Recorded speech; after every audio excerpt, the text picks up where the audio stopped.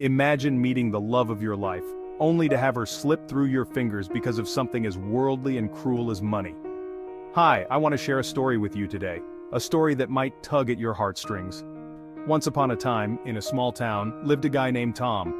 Ken wasn't born with a silver spoon in his mouth, his clothes were hand-me-downs, and his shoes were often patched up more than once. Despite his financial constraints, Ken had a heart of gold and a smile that could light up the darkest rooms. Then, he met Anna. Anna was everything Ken wasn't. She came from a wealthy family, attended the best schools, and never had to worry about money. But when their paths crossed, those differences didn't matter.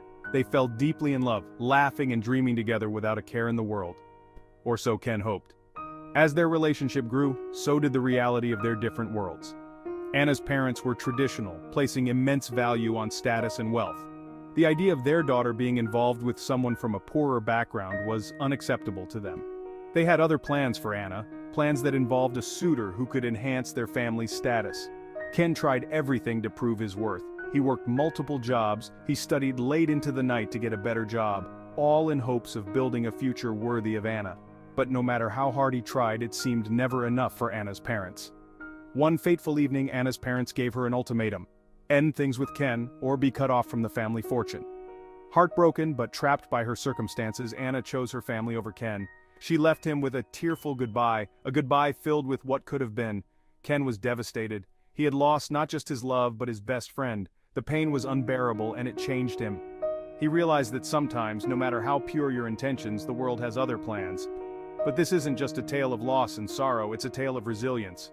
Ken didn't let this setback define his life, instead he used his pain as fuel, pushing himself further than he ever imagined. He eventually found success on his own terms, proving that while he couldn't change his past he could definitely shape his future. So, what's the moral here? It's that sometimes, love isn't enough to overcome societal barriers. But it's also a reminder that our worth isn't determined by our bank account, but by the strength of our spirit and the resilience of our hearts. Thank you for listening. Remember, no matter what you're going through, there's always hope and a path forward. Stay strong and keep pushing forward. Please subscribe to this channel for more story.